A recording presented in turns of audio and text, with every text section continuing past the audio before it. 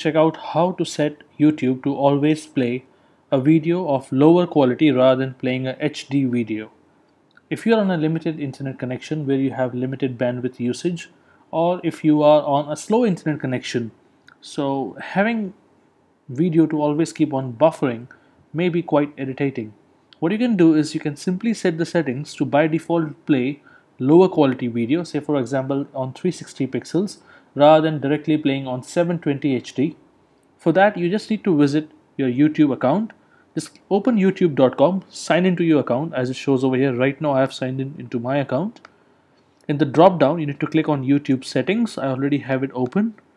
This will look something like this. And then you need to click on playback. Over here you all for example right now I have set to always choose the best quality for my connection and player size and I have also said always play HD on full screen when available. However, I can change it to I have a slow connection, never play high quality video.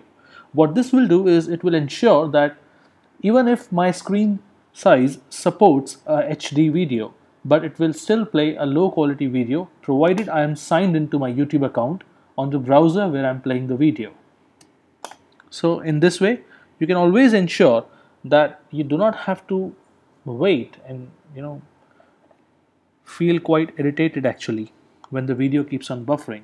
Rather, you can just have it instantly play and especially if you have limited bandwidth usage, which happens in Asian countries a lot because I'm myself based in one of the Asian countries in India. I know that. So you don't have to keep on waiting or you don't have to worry about too high bandwidth usage. So I hope you guys check it out and let me know in comments how it goes. Thanks. Bye.